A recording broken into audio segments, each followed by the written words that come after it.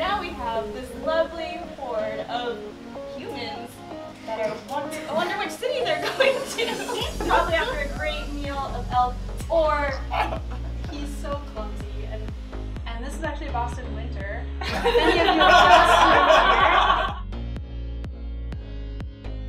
Our team was growing and I noticed that we weren't as close as we used to be and I think it's a function of like adding more members while also increasing like the physical space that we were in. I wanted to create a space where we could all come together and just sort of sit with each other and really bond but also improve each other's work by giving each other feedback. Um, it's super free flowing, uh, designers can come in and out.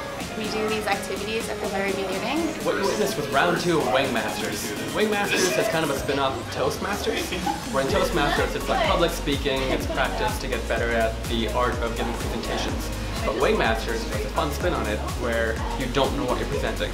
Someone else makes slides for you, and you kind of have to spin up a story on the fly. And it's great for building presentation skills, which is a huge part of design, selling design, and like presenting the work to clients.